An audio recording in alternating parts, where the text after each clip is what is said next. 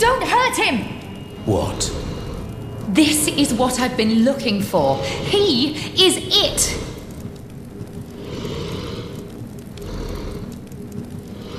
What? This thing? Are you expecting it to talk to you? What he said. He knows why I'm here.